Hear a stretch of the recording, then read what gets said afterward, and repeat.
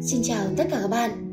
Mời các bạn cùng theo dõi bài văn mẫu, phân tích bài học dựng nước và giữ nước trong truyện An Dương Vương và Mỹ Châu Trọng Thủy do Việt Dách tổng hợp và biên soạn để học tốt môn ngữ văn lớp 10.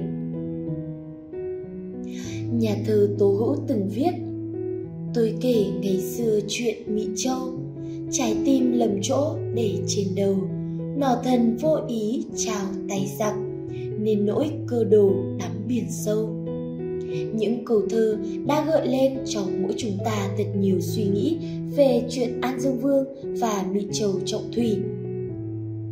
Một trong số những tiểu thuyết của những lời sàn dạy có ý nghĩa sâu sắc và vô cùng to lớn của nhân dân trong quá trình dựng nước, giữ nước và giải quyết mối quan hệ riêng chung. Ở phần thứ nhất, truyền thuyết tập trung nói về việc An Dương Vương xây thành chế nỏ.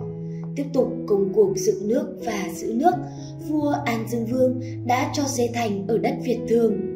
Nhưng đáng tiếc thay, công cuộc xây thành lại gặp phải thật nhiều những khó khăn. Thành cứ xây cao tới đâu là lại lở ngay đến đấy. Sau đó với sự giúp đỡ của rùa vàng, xứ Thanh Giang, nhà vua đã có thể xây xong thành chỉ trong vòng nửa tháng. Trước khi về, sô vàng để lại cho một chiếc vuốt phòng khi có giặc ngoại xâm. An Dương Vương đã xài cao lỗ, lấy chiếc vuốt làm thành lẫy nỏ. Và với chiếc nỏ thần này, về sau khi Triệu Đà đưa quân sang xâm lược, quân và dân ta đã đánh thắng quân Triệu Đà, buộc chúng phải xin hòa. Chiến thắng của An Dương Vương trước quân Triệu Đà cho thấy sức mạnh quân sự cùng ý chí và tinh thần đoàn kết của nhân dân ta lúc bấy giờ. Như vậy, với những chi tiết tưởng tượng kỳ ảo, chuyện đã cho chúng ta thấy những công lao to lớn của An Dương Vương trong sự nghiệp xây dựng đất nước và chống giặc ngoại xâm. Ở phần thứ hai, câu chuyện còn cho chúng ta thấy được bi kịch nước mất nhà tan. Sau chiến thắng trước quân triệu đà xâm lược, An Dương Vương mất cảnh giác, vô tình gả con gái của mình là Mỹ Châu cho Trọng Thủy ở rể mà không nhận thấy được âm mưu của kẻ thù. Trong thời gian ở rể thì Trọng Thủy lợi dụng thời cơ đổi trộm mất nỏ thần rồi mang về phương Bắc. Khi quân triệu đà kéo sang xâm lược, An Dương Vương vẫn cậy có nỏ thần mà điềm nhiên ngồi chơi cơ, không chút lo lắng, chuẩn bị phòng ngự và đánh trả. Không còn nỏ thần, nhà vua thua trận và cùng con gái chạy về phương Nam. Cuối cùng đau đớn chém chết con và đi xuống biển. Trọng Thủy mang xác vợ về chôn ở Loa Thành, xác liền biến thành Ngọc Thạch.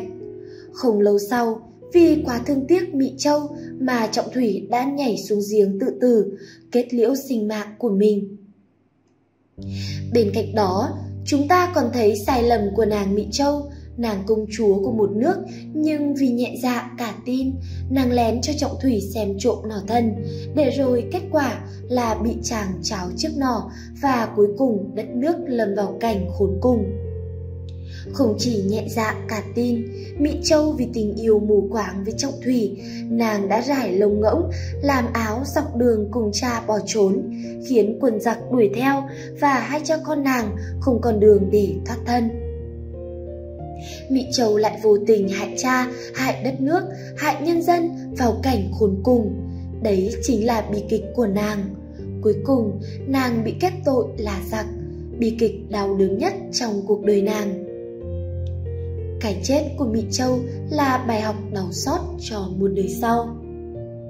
Ngoài ra, đối với các bài học đem lại, truyền thuyết còn thể hiện thái độ của nhân dân đối với các nhân vật lầm lỡ. Thứ nhất, thông qua hình ảnh An Dương Vương cầm sừng tê bảy tấc rẽ nước dẫn vua xuống biển. Tác giả đã bất tử hóa cái chết của An Dương Vương. Từ đó thể hiện sự kính trọng, yêu mến với công lao dựng nước và có phần tiếc thương đối với vị vua này.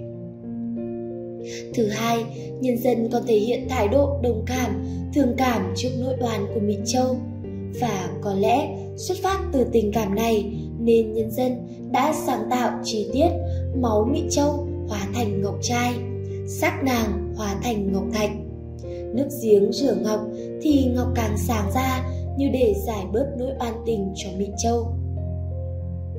Tác phẩm đã lý giải nguyên nhân mất nước Âu Lạc, đồng thời qua đó gửi gắm bài học lịch sử sâu sắc cho các thế hệ muôn đời, bài học về tinh thần cảnh giác, bài học về cách xử lý đúng đắn giữa việc chung và việc riêng, giữa tình nhà và việc nước, giữa cá nhân và cộng đồng. Trên đây là bài phân tích, bài học dựng nước và giữ nước trong truyện An Dương Vương và Mỹ Châu Trọng Thủy do Việt Sách giới thiệu đến quý thính giả. Đừng quên ấn đăng ký kênh và chuông thông báo để nhận được thông báo về những video mới nhất của việt sách